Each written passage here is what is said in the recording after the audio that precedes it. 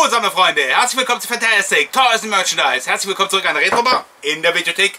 Der Typ mit der Schimanski-Jacke und dem 3-Tage-Bart begrüßt euch. Sammlerfreunde, ich wurde immer wieder mal gefragt. Äh, bei euch müsst doch hin und wieder auch mal Kameraeinstellungen und Szenen unter den Schneidetisch gefallen sein. Und das stimmt. Ich habe mal ein bisschen durchgeguckt und habe ein paar Sachen herausgesucht, wo wir in Filmen oder in Sendungen nie verwenden konnten. Entweder war das Material zu kurz oder wir hatten nicht genug Themen für eine Sendung zusammen. Und es wurde dann praktisch gefilmt, geschnitten und archiviert oder sonst irgendwie eingelagert. Und da möchte ich euch heute ein bisschen was zeigen. Unter anderem werdet ihr heute ein Alien-Monster von Kenner sehen und an den Robocop. Ich würde sagen, wir gehen jetzt mal rüber ins Archiv und gucken uns mal ein paar Sachen an. Das Archiv habe ich sauber gemacht. Aus dem zweiten Aliens-Film aus dem Jahre 1992 mit sechs Jahren Verspätung, die Flying Alien Queen. Erworben habe ich dieses schöne Stück in den 90er Jahren in Frankreich.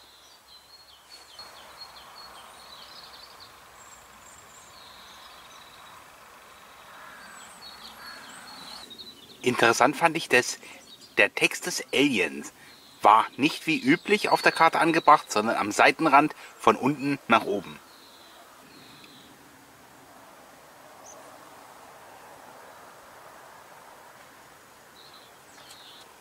Die Alien-Figuren erwiesen sich als sehr beliebt, deswegen kam auch eine riesen gewaltige Anzahl an Alien-Monstern heraus, die in dem Film so nie vorgekommen sind.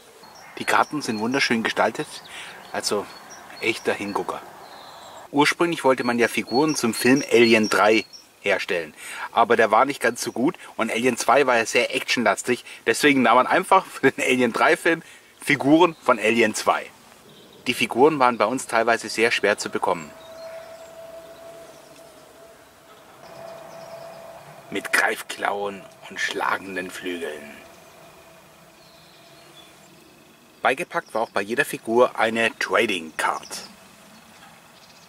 Interessant ist auch, der Film Alien 2 ist ja ab 16 Jahre, wo nebenbei gesagt auf VHS als ungekürzt gibt und die einzigste Version mit 157 Minuten und die Figuren waren ab 6.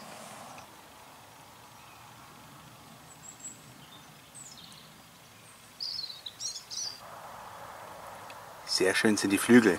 Leider kann ich euch das gute Stück natürlich nicht auspacken. Ich habe es ja schließlich fast 30 Jahre original verpackt gelassen. Gerade die ersten Alien-Filme und die ersten Predator-Filme fand ich wirklich sehr, sehr gut und sehr unterhaltsam. Vor allem mit Sigourney Weaver. Den ersten Alien vs. Predator-Film fand ich auch genial. Habe ich mit meinen Kumpels damals im Kino gesehen. Wann war das? 2004. Zum ersten Alien-Film erschien ja eine 30 cm Figur. Die ist heute ein sehr gefragtes Sammlerstück. Wollte als Kind keine haben Heute legt man original verpackt dafür einen Tausender hin. Das Alien war eigentlich auch das erste richtige Alien, wo wirklich nicht aussah wie ein Mensch, sondern komplett anders da war. Und das waren auch Außerirdische, die einfach nur böse waren. Die konnte man reinweise abknallen, wie in Alien 2. Da gab es auch ein gutes Spiel für den Commodore 64 und später gab es auch noch ein paar andere Spiele, zum Beispiel für die Playstation 1 und für das Sega Saturn. Hirn aus, Waffe an. Die Firma Kenner hat also wirklich ein paar sehr schöne, außergewöhnliche Stücke geschaffen. Die Rückseite der Karte ist natürlich besonders interessant. Fast schon im Stil der alten Kenner Toys, wo alles hinten aufgelistet ist, als Checkliste.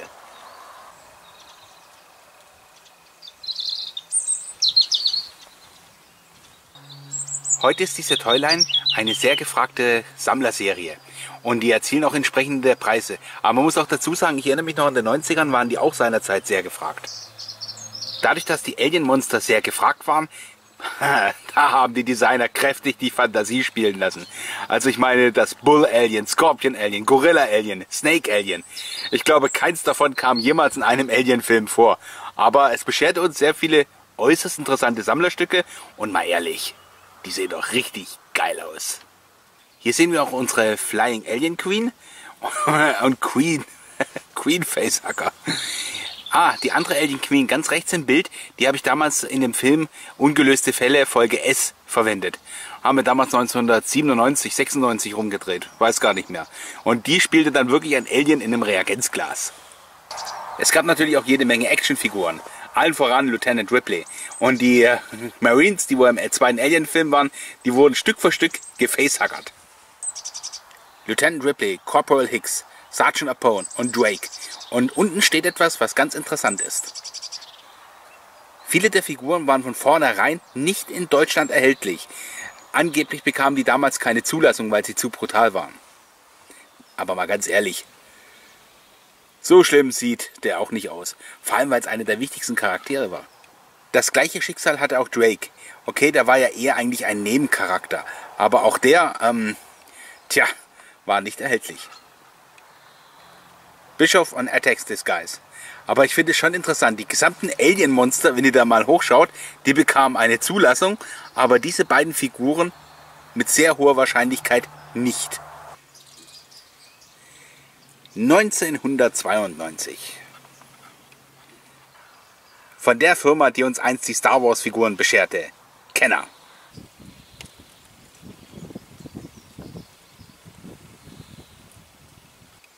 Okay, die Figuren sind schon noch ein bisschen im Design der 80er Jahre, aber mit der Technik der 90er, was ich so toll fand.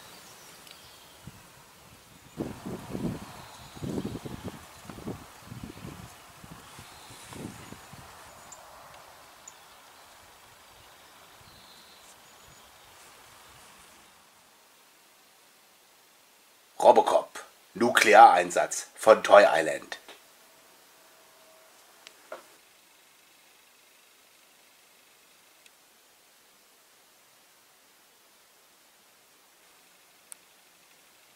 die Spezialeinheit der Polizei.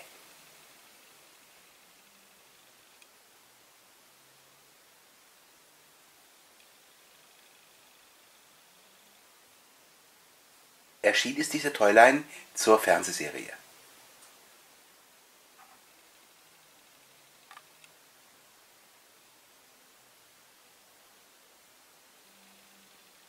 Die Geschichte von Robocop ist ja bekannt. Äh, Murphy, so heißt eigentlich Robocop wirklich, wurde bei einem Polizeieinsatz so schwer verletzt, dass man praktisch sein Gehirn in einen Robotkörper verpflanzte. Und so entstand Robocop. Und als Kampfroboter sorgte er für die Polizei von Detroit für Recht und Ordnung. Robocop zeichnete damals ein sehr düsteres Bild von der Zukunft. Viel Armut, die Welt wird im Endeffekt von einem Konzern beherrscht. Und die Polizisten und auch der Robocop unterstehen im Endeffekt diesem Konzern. Gerade in den 80er Jahren war es ja oftmals üblich, aufgrund der nuklearen Bedrohung ein düsteres Bild von der Zukunft zu zeigen.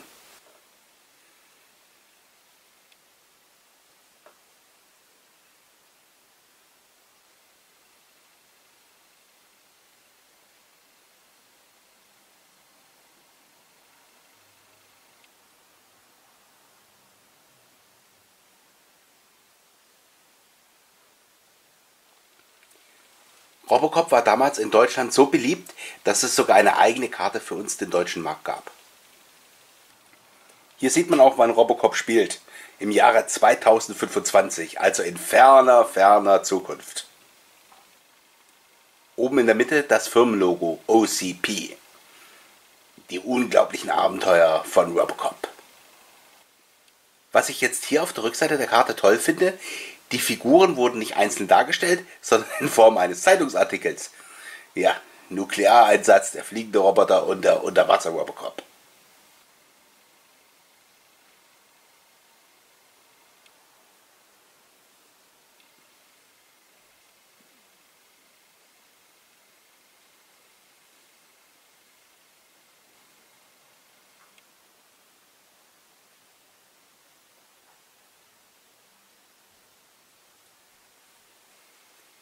Stammt aus dem Jahre 1995. Damals 30 Jahre in der Zukunft. Oh Gott, kam uns das damals lange vor. Naja, jetzt ist nicht mehr so lang. Ursprünglich kosteten die Figuren mal 19 Mark 99. Beigepackt war auch noch dieser kleine Drohnenpanzer. Die Waffe von Robocop war cool. Die hatte er im Bein drin, da gab es so einen Mechanismus, da öffnete sich das Bein und da konnte er die Waffe einsetzen. Es gab auch einen Ersatzhelm.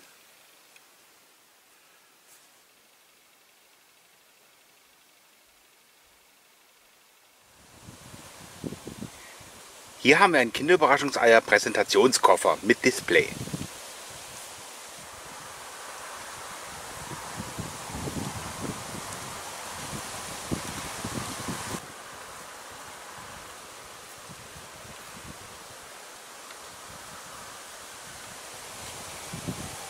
Aus Holz hergestellt, nicht aus Pappe oder Kunststoff.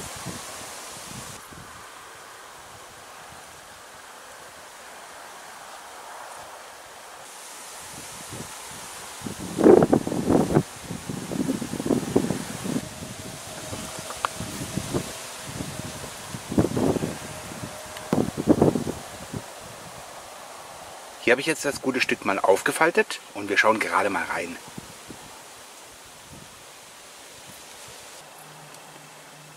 Beginnen wir mit der rechten Seite. Ah, das Ei. In jedem siebten Ei. Oh, ganze Generationen sind damit aufgewachsen. Die Garage kann geöffnet werden und man kann eins der vielen, vielen Kinderüberraschungseierautos da unterbringen. Oder sogar mehrere. Auch die Türen kann man öffnen. Komplett aus Pappe.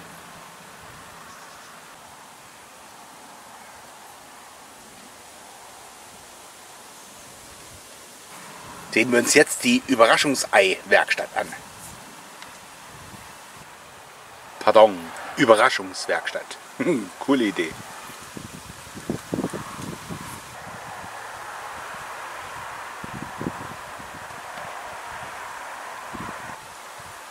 Im unteren Bereich befindet sich der Flughafen.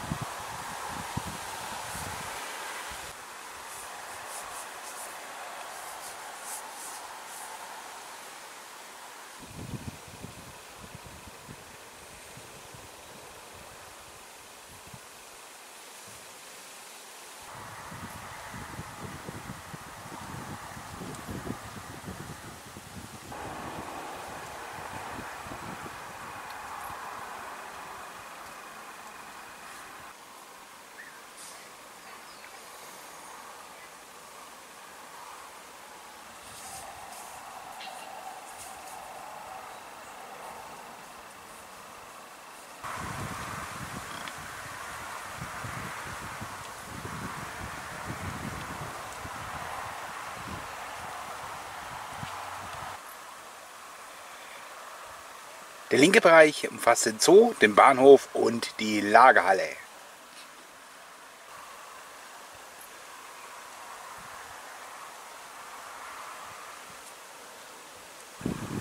Sehr schön finde ich, wie das ganze Dach hervorgehoben ist und sehr schön sich in das Playset einfügt. Auch eine sehr gute Idee, die vielen Ausbuchtungen, wo man seine Kinderüberraschungseierfiguren reinstellen kann.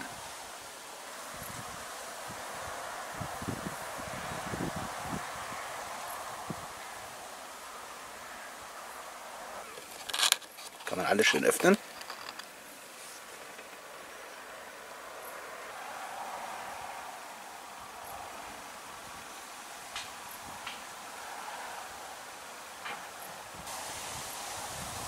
Und hier sehen wir die Feuerwehr.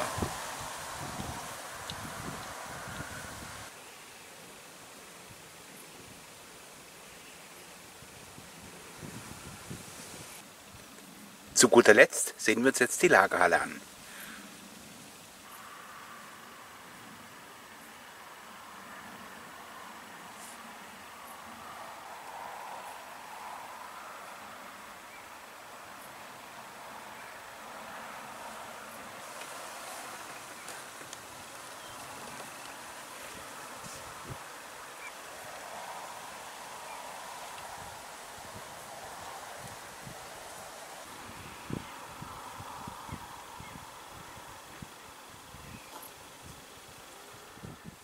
Der Traktor mit Anhänger und zwei Beipackfiguren.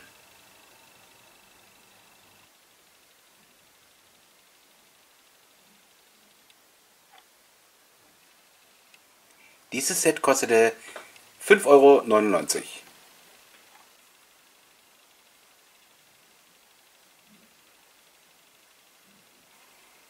Insgesamt 165 Teile.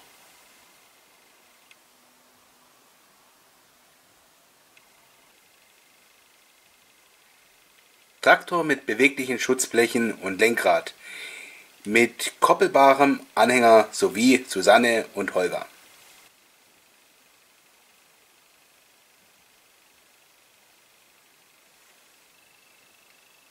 Wieder mit ausführlicher Anleitung für den Aufbau.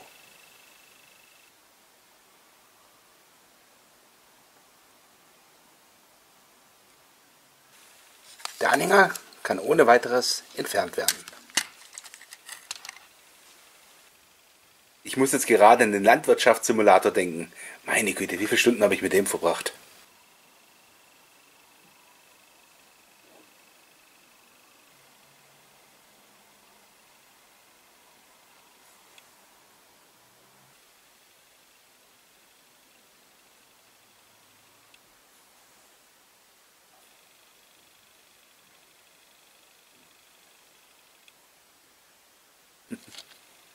Ja, sehen echt cool aus.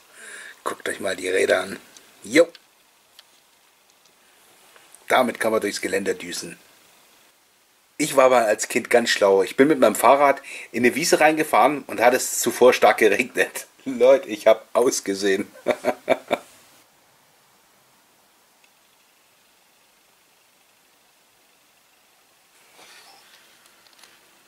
Schutzbleche sind beweglich.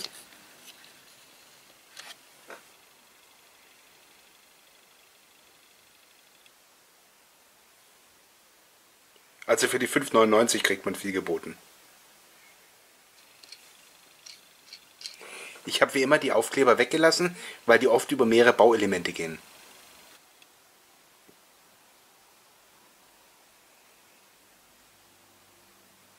Ich muss ja auch ein bisschen meckern. Das Einzige, was ich störend finde, ist hier das Auspuffrohr. Das geht sehr leicht ab. Der Anhänger ist auch sehr schön gemacht. Kann man schön runterklappen.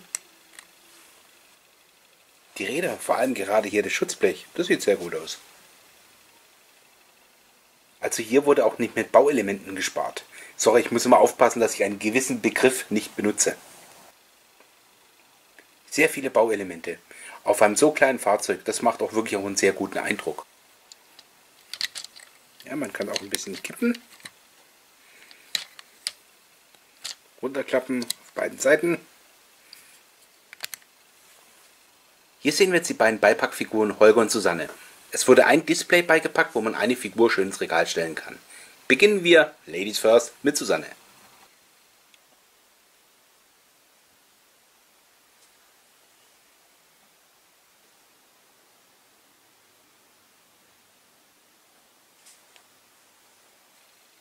Wie auch bei den anderen Sets wurde auch hier ein extra Paar Hände beigepackt.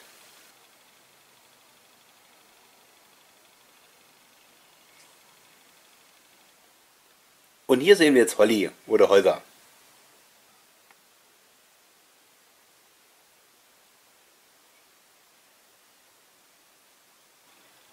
Die Hände sind beweglich, genauso die Arme. Die Füße wiederum sind aus einem Stück gegossen, aber auch beweglich.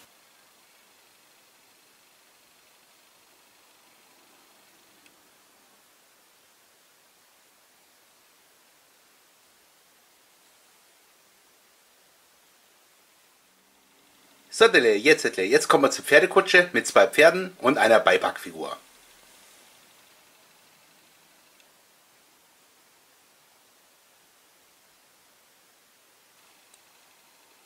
Einhundertzweiundzwanzig Teile für 5,99.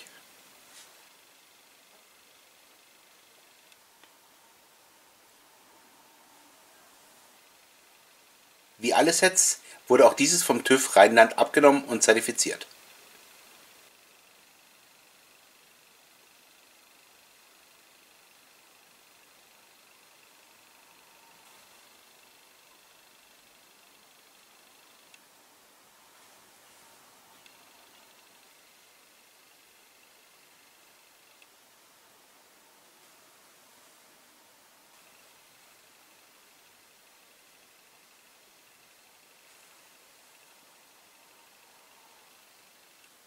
Auch hier wieder mit ausführlicher Aufbauanleitung.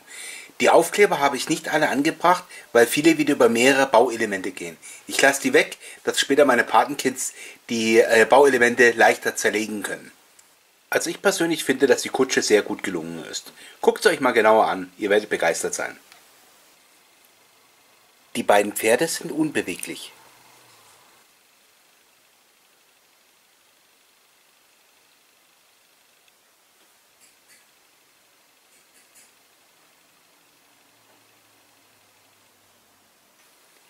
das weiße Pferd hebt sich vom weißen Hintergrund natürlich sehr gut ab. Thomas, da hast du echt mitgedacht.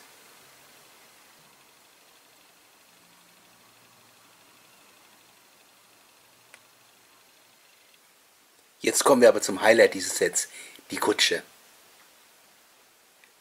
Der Kutschbock mit den beiden Kutschenleuchten.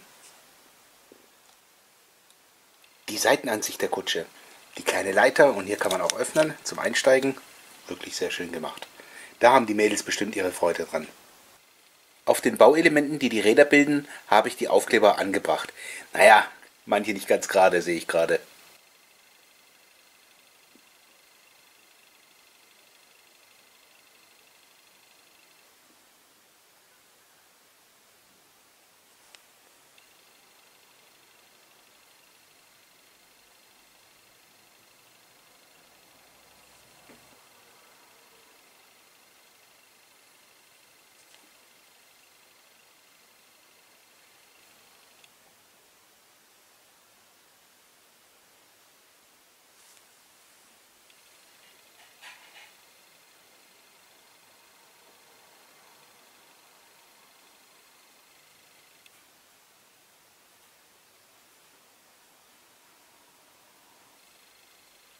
Kommen wir nun zur Beipackfigur. Auch hier ist wieder ein einzelnes Display beigepackt, wo man die Figur wunderschön präsentieren kann.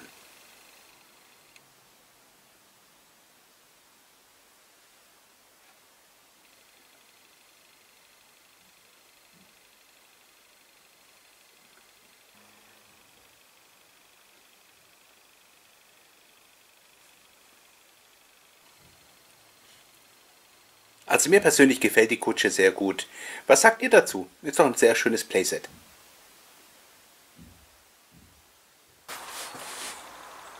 So, Sammlerfreunde, ich hoffe, euch hat die heutige Sendung gefallen. Und äh, es war halt mal ganz interessant zu sehen, was alles in den letzten zwei Jahren so übrig geblieben ist. Es ist halt immer wieder interessant, man verfilmt etwas und dann sieht man, dass man es nicht verwenden kann. Für eine Sendung reicht es nicht und äh, da habe ich mir gedacht, nimm einfach mal ein paar Sachen raus und ich zeige es euch. Da gab es doch kuriose andere Sachen. Irgendwo habe ich auch mal die Stargate-Figuren verfilmt. Da habe ich auch zwei Stück rumliegen. Ja, das muss ich auch irgendwo eingelagert haben. Irgendwann schneide ich mal eine ganze Sendung zusammen mit Material, das wir nie verwendet haben. Oh je. Aus den letzten 14 Jahren. Ich hoffe, euch hat die heutige Sendung gefallen. Und das bleibt noch zu sagen übrig. Bis zum nächsten Mal. Es wieder heißt. Fantastic. Tolles Merchandise. Andere drüber. In der Videothek. Der Typ mit der Schimanski-Jacke, der in den 80ern hängen geblieben ist. Viel Spaß beim Sammeln.